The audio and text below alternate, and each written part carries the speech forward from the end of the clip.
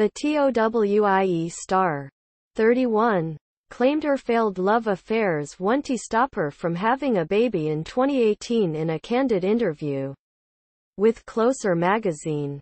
But Lauren Goodger, 31, claimed her failed love affairs wanted to stop her from having a baby in 2018 in a candid interview with, although she confessed being a single mother would be challenging.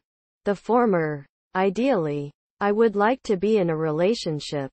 Even though I feel like I am a strong independent woman who could go it alone. But being a single mom is really tough.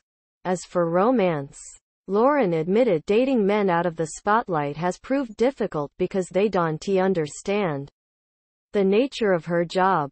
Most recently, Lauren enjoyed a short-lived romance with jailbird Joey Morrison but she called it quits after 15 months together in September 2017.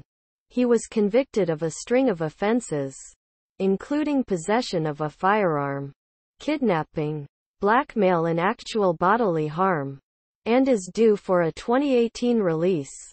He was meant to come out last year in November and things were great. She explained to the panel. But where things got set back, it put strain on us. I cool DNT wait no more. It was too much pressure.